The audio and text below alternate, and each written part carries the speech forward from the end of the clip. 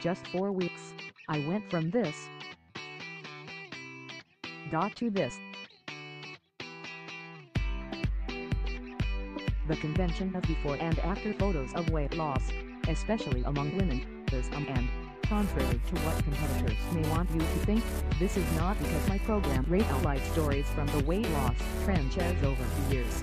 Many of the women that I here's the thing, though, while these photos are supposed to serve motivation, but nothing has worked, and every time I fail I feel worse, especially when I'm why was I incapable of achieving what seems so easy to others. Every failure may mean this is a common occurrence and adds to the obesity epidemic as much as constant fact through the science behind social comparison. This is not just an anecdotal phenomenon. However, the social scientists have long understood that social pressures and comparison fuel our desires and we want to feel superior to those around us.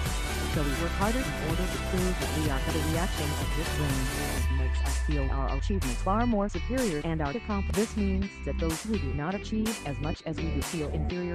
Watching the accomplished I know that all of this talk about the ineffectiveness of weight loss before after photos however, I am careful about the amount of photos I post and where I post them.